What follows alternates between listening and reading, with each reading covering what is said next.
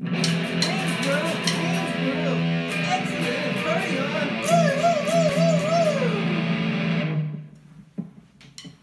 hi there. Welcome to Wayne's World. We're in another edition here in my parents' basement. I'm here with my good buddy Garth. Party on, Garth. Party on Wayne. Sweet. So, today we've got ourselves a top five list.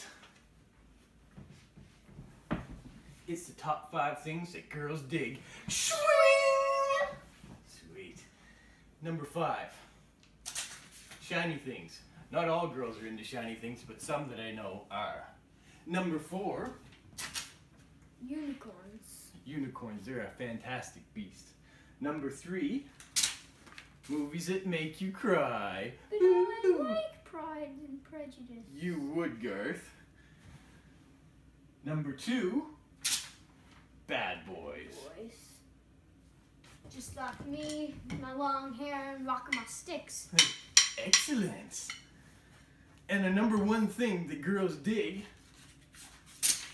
thanks, Garth, guys that are ripped. Today's day 21, 22 push-ups in 22 days. Let's get at it.